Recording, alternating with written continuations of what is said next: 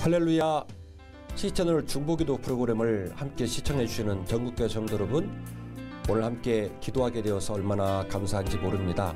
잘 주무셨죠? 우리가 짧게 기도하지만 진심을 담아 또 믿음으로 함께 기도하실 때에 하나님께서 우리 마음에 더 큰 믿음을 주시고 우리의 기도로 말미암아 가정도 살아나고 교회도 살아나고 이 나라 이민족도 살아나는 놀라운 역사가 일어나게 될 줄로 믿습니다. 어, 오늘 함께 말씀 나누고 기도하실 텐데요. 잘 아시는 본문 잠깐 소개할게요. 데살로니가 전서 5장 16절 이하의 본문입니다. 항상 기뻐하라. 쉬지 말고 기도하라. 범사에 감사하라. 이것이 그리스도 예수 안에서 너희를 향하신 하나님의 뜻이니라. 항상 기뻐하고 쉬지 말고 기도하고 범사에 감사하고 여러분 이 말이 무슨 얘기냐면요. 강조요법이에요. 흰 구두, 백구두 같은 말이죠. 항상이라는 말이나 쉬지 말고라는 말이나 범사라는 말이나 똑같은 얘기입니다. 그러면 무슨 얘기가 되죠? 기뻐하고 기도하고 감사하고 감사하고 기도하고 기뻐하고 이게 뗄라 뗄 수가 없다는 겁니다.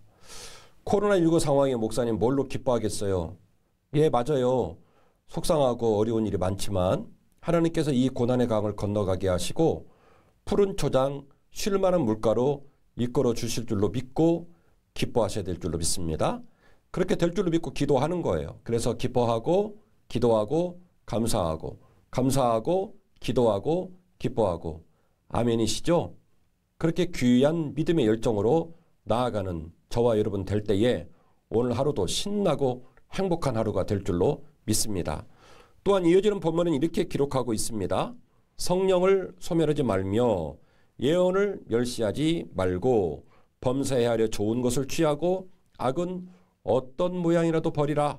평가의 하나님이 친히 너희를 온전히 거룩하게 하시고 또 너희의 온 영과 혼과 몸이 우리 주 예수 그리스도께서 강림하실 때에 흠없이 보존되기를 원하노라.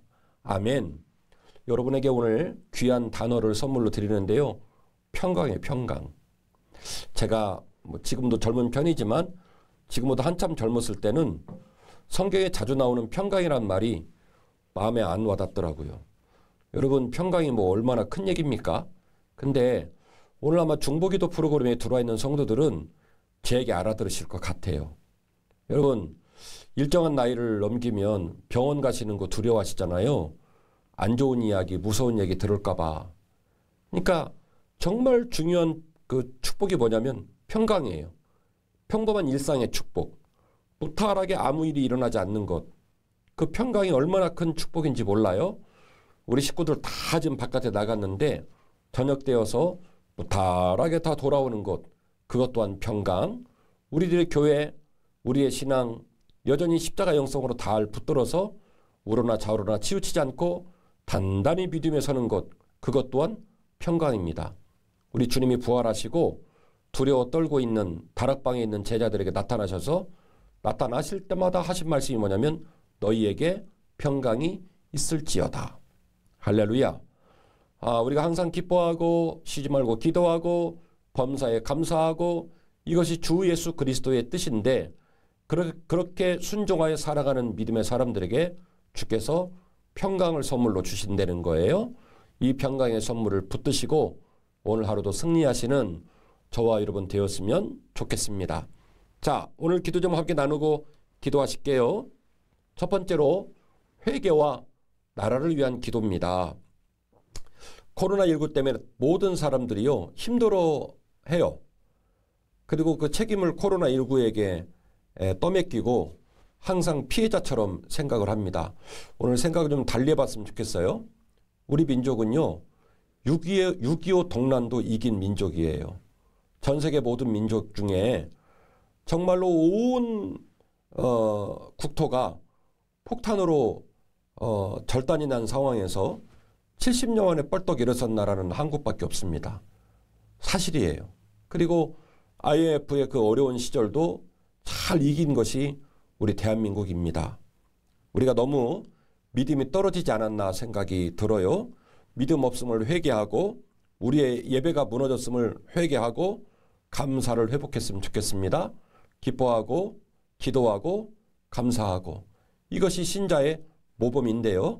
이 감사가 살아나게 하옵소서 감사하지 못하고 믿음으로 걷지 못했던 우리의 죄를 고백하오니 우리의 믿음을 붙잡아 주시어서 우리 때문에 이 땅이 살아나게 하여 주옵소서 우리 간절히 기도하십시다. 하나님 아버지 감사합니다. 지난 밤도 하나님 은혜 가운데 잘 잠자게 해 주시옵시고 오늘 하루도 주님과 함께 복되기 시작하게 하시니 감사를 드립니다. 항상 기뻐하라 쉬지 말고 기도하라 범사에 감사하라 이것이 그리스도 예수 안에서 너희를 향하신 하나님의 뜻이라는 말씀을 이 아침에 들었습니다. 주님 코로나19로 많은 사람이 힘들어하지만 우리가 여전히 기뻐하고 또한 기도하고 감사하기를 원합니다. 우리가 믿음의 사람들로서 세상에 있는 벗들에게 귀감이 되고 그들에게 용기를 주지 못했던 우리들의 믿음 없음을 주 앞에 회개합니다. 주님 용서하여 주옵소서 흔들거리는 우리의 믿음을 붙잡아 주옵시고 나약해진 우리의 믿음을 강하게 해주셔서 십자가 영성으로 서게 하여 주옵소서 우리 믿음의 선배들 6.25 동란에도 이 나라 이민족을 섬겼습니다. IMF 때도 수많은 교회들이 눈물의 기도로 이 나라 이민족을 섬겼습니다. 하나님 이 땅의 교회와 우리 성도들 힘들어만 할 것이 아니라 이 나라 이 민족을 불쌍히 여기시라고 기도할 수 있는 영성이 우리 모두에게 있기를 원합니다. 이 일을 이뤄낼 수 있도록 우리가 항상 기도하게 하여 주옵소서. 지금은 힘들지만 우리를 이끄신 하나님을 기억하며 항상 기뻐하게 하옵소서. 이 아침에 함께 기도하는 우리 모두에게 믿음의 믿음을 허락해 주시고 강력하게 기도하게 해주셔서 우리의 심령이 살아나게 하시고 이 땅 모든 민족에게 기쁨을 선물하고 기도를 선물하고 감사를 선물하고 하나님 마음으로 섬길 수 있는 귀한 역사가 우리 모두에게 있게 하여 주옵소서 예수님 이름으로 간절히 축복하며 기도하옵나이다 아멘.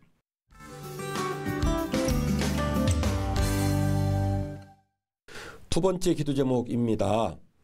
자녀를 위한 기도 제목을 나눠 주셨는데요. 어, 따님이 중3이 되셨대요.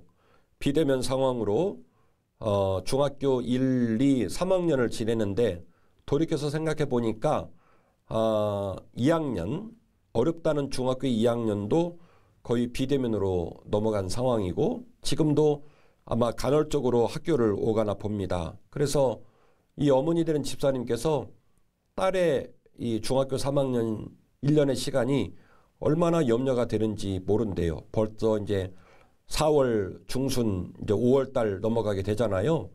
하나님 우리 귀한 딸 어, 청명과 지혜 주시고 집중해 집중력 주셔서 중3 시절을 잘 보내게 하시고 좋은 고등학교 가게 하여 주옵소서 기도 제목을 나눠 주셨어요. 그리고 아마 우리 여집사님의 눈물의 기도 제목은 지금 방송에 들어와서 함께 기도하는 우리 가족들에게도 많이 있는 줄로 믿습니다. 여러분 기도하지 못했던 것들을 생각하면서 지금이라도 같은 마음으로 기도해 주시고요. 그렇게 기도하실 때에 우리의 귀한 자녀들 특별히 사연을 주신 우리 집사님 가정의 자녀도 큰 힘을 받게 될 줄로 믿습니다. 함께 기도하십시다. 하나님 귀한 가정을 위해 축복으로 기도합니다. 우리 여집사님 귀한 딸이 중3이 되었는데 중학교 2학년 때도 비대면으로 1년을 보내고 중3이 되었음에도 불구하고 여전히 비대면과 대면을 오가면서 3학년답지 못한 시간을 보내느라 얼마나 마음이 어려우신지 중보 기도를 요청하셨습니다. 우리가 그 엄마의 마음으로 간절한 마음으로 함께 중보 기도 하오니 귀한 딸의 마음을 주께서 붙잡아 주옵소서 세상에 마음 뺏기지 않게 하시고 삶의 환경 때문에 주저앉지 않게 하시고 그가 꿈꾸고 원하는 진학을 마음에 품고 우로나 자로나 치우치지 않게 하시고 뚜벅뚜벅 신실하게 자신의 시간을 채워가는 귀한 딸이 되게 하여 주옵소서 특별히 공부를 잘하는 것뿐만이 아니라 영성 또한 깊어지게 해주셔서 하나님을 더 깊이 만남으로 말미암아 좋은 학교에 지나가고 또한 주님을 더 깊이 사랑하는 놀라운 일이 이 가정에 있어지게 하여 주옵소서 하나님 우리의 가정에도 이와 동일한 기도 제목이 너무나 많이 있음을 고백합니다.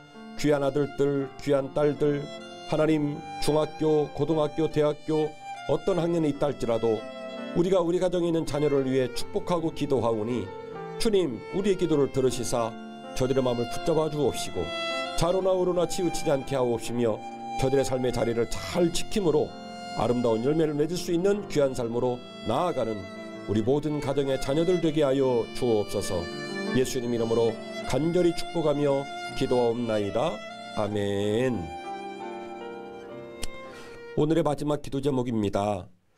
어, 제가 중보기도 프로그램을 어, 인도할 때마다 부탁을 드리는 건데요. 어, 가족을 위한 기도예요. 오늘도 마지막 기도는 가족을 위한 기도를 드리도록 하겠습니다. 한국의 가정들이 어, 서로 대화를 하지 않는다는 거예요. 코로나 비대면 상황이 돼가지고 그 리서치에 따르면 초기에는 그래도 당황이 돼서 많이 이제 대화를 나누는데 좀 아이러니하죠. 비대면 상황에 점점 익숙해져 가지고 이제 가족들이 전부 자기 방으로 들어가서 스마트폰 보고 있대요. 목사로는 참 가슴이 아픈 이야기인데요. 이 시간 우리의 가정을 위해 오늘도 여전히 기도하시기를 원합니다. 오늘도 아침 일찍 나가서 일하고 있는 우리의 가정들을 기억하십시다. 아빠, 엄마, 또 어떤 집은 자녀가 가장인 집도 있어요. 부모님이 일찍 돌아가셔서 젊은 나이에 가장을 하고 있는 우리 귀한 젊은이도 있습니다. 저들을 위해 기도해 주시고요. 그리고 사랑하는 엄마, 어, 갱년기 잘 지나가게 하시고 우울증 걸리지 않게 하시고 노년의 삶을 살아가는 부모님 건강 주셔서 해로하게 하시고 건강하게 사시다가 주님 품에 갈 수 있도록 그리고 우리 자녀들을 위해 함께 기도하는 시간 갖겠습니다.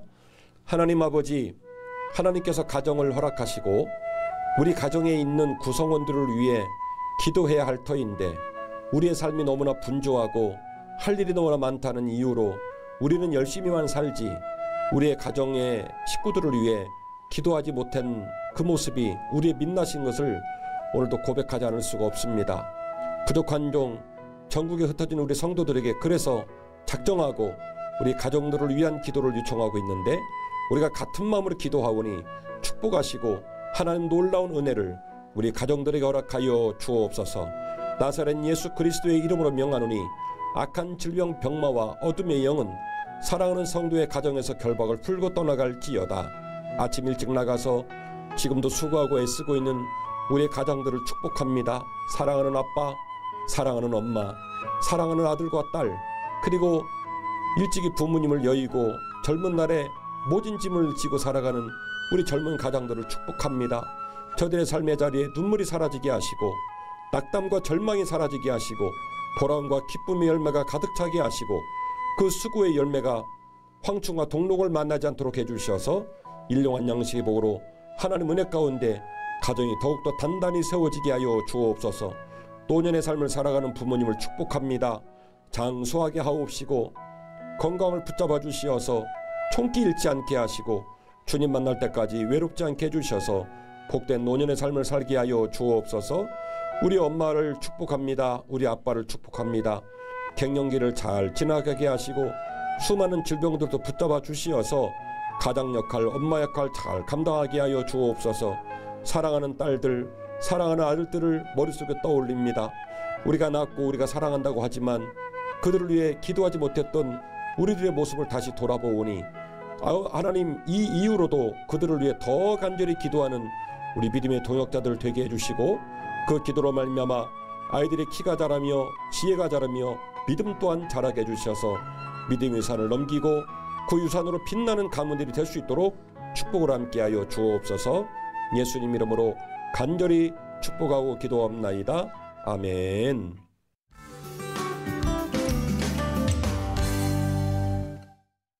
감사합니다. 오늘도 함께 해주셔서 감사하고요.